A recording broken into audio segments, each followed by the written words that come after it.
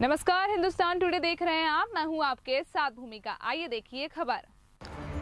पिछोर के छोटे बाज़ार में स्थित माँ पीताम्बरा ज्वेलर्स के संचालक अशोक सोनी की दुकान में रखे छोटे गैस सिलेंडर में आग लगी। दुकान में कार्य करते समय ये बड़ा हादसा हुआ। आसपास के दुकानदारों में हड़कंप, समझ के और अफरा तफरी हो गई। दुकानदारों की सूझबूझ से ये हादसा टला है। हिंदुस्तान टुडे के संवाददाता जाकिर खान की रिपोर्ट।